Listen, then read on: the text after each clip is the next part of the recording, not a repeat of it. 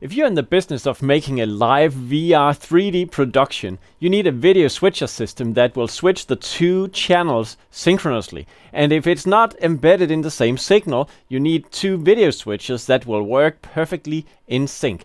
And you also need a control surface that will respect this nature. So it's not enough to just have tri-level sync on your uh, switches. You also need a control panel aware of that sync signal. And we made a solution for that. I think it it's probably the world first broadcast panels that will take into account the vertical sync of your video signal so that your switching uh, commands will arrive at the exact right time to make sure you have frame accurate switching of the two video channels. So in this video, we'll um, explore how this is built in, how it's, it's been projected to be built into our controllers, since we are currently working on um, on it on a prototype level. It's um, it's all on my table here, and uh, you can see how we have hooked up some electronics that basically we have a sync generator that will um, let the vertical sync into the unit, and the unit will use that to make sure the commands sent to the video switches will arrive at the exact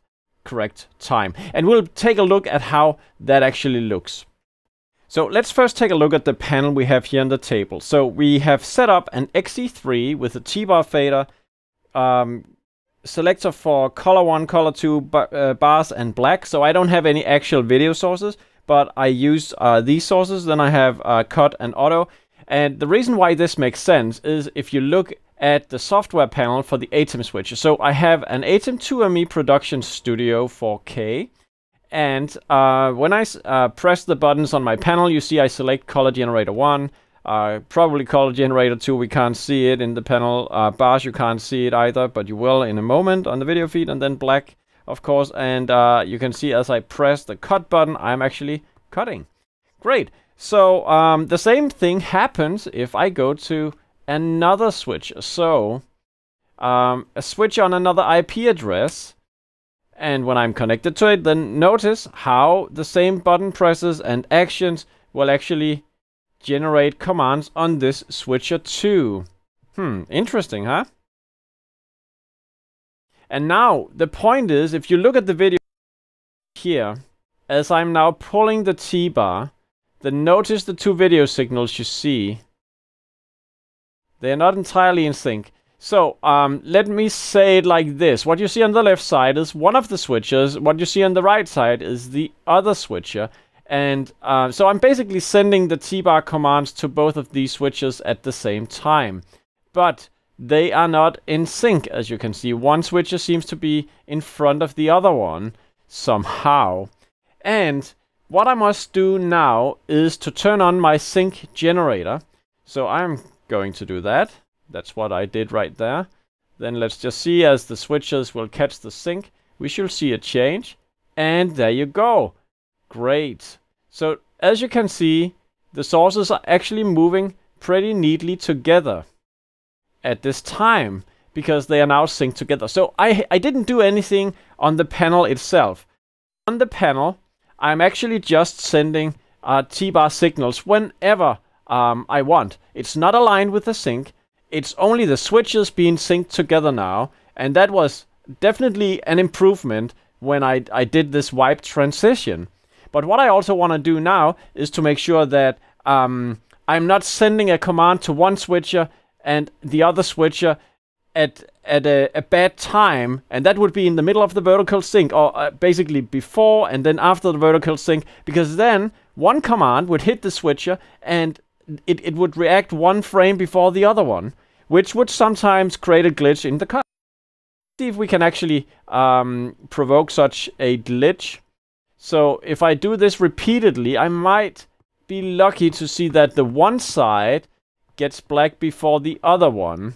And I have to admit, it is a little bit difficult to get to that exact spot. Ah, there we saw it. There we saw it. One side, I think it was the right side, that went black before the left side. And that's exactly the effect we want to avoid.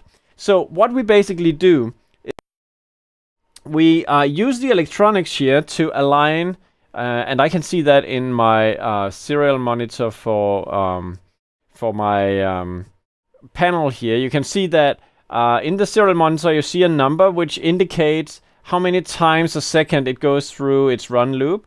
And what I'm going to do now is to move. I'm going to move this pin.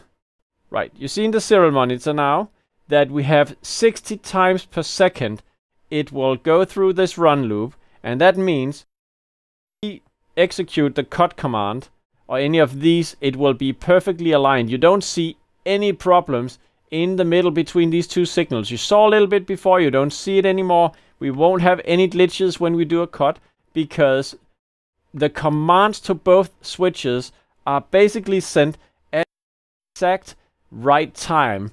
Uh, right after the vertical sync, the XC3 is going to send out a signal to both switches. So how did I do this configuration anyway? Well, first of all, the whole sync stuff means that an XC3 panel will have a BNC plug on the backside where you connect a tri-level sync and with that sync you could have that this panel switch the sources synchronously at the right time just after the vertical sync.